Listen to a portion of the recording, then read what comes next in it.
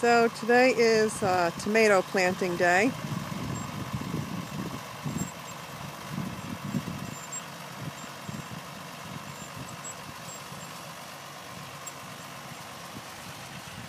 You can see here we've got um, a large variety of tomato seedlings delivered to us from the local greenhouse.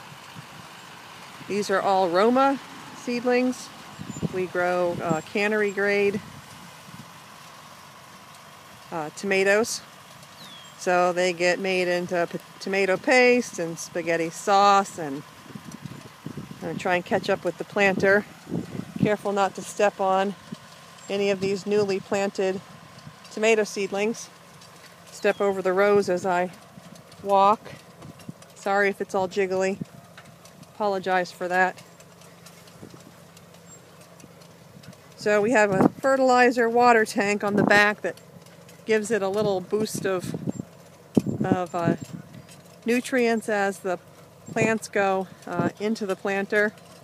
You can see the machine runs pretty slowly. There's about six people sitting on the planter. One guy standing on the catwalk making sure the trays of seedlings stay fresh in front of the folks who are feeding the planter.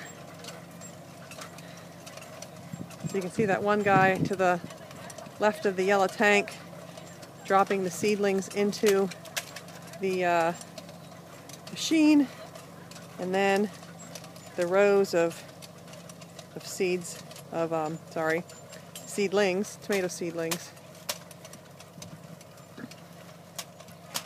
So come August these will be harvested. Today is May 2nd so we're planting uh, beginning of May. We'll be harvesting in early um, August. It's all machine done.